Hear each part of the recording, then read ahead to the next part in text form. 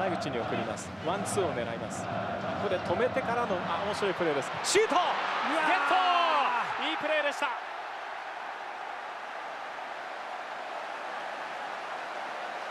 上手なポストプレー使いましたね。そうですね。あの選手今度はディフェンスラインにひっのではなくてツーラインの間でボールを受けましたよね、はい、そして自分の距離があるのでしっかりと前を向いた、ええ、そしてディフェンスに飛び込ませることをさせなかったですよね、はい、でその裏にここからですねこう受けて原口。くさび受けて要はこれワンツーなんですけどここを前向いて1つ触ったことによってよりゴールに近づけて、はい、でまず右足のシュートを消しに来たんですよね、ええ、渡辺選手が。そうですね。